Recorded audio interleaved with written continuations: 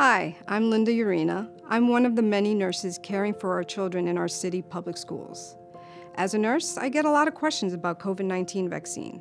One common question I hear can the COVID 19 vaccine affect my child's fertility in the future? There is no evidence that the vaccine affects puberty, and there is no scientific evidence that the COVID 19 vaccines cause fertility issues. It is safe and recommended for people who may want to have a child in the future to get vaccinated.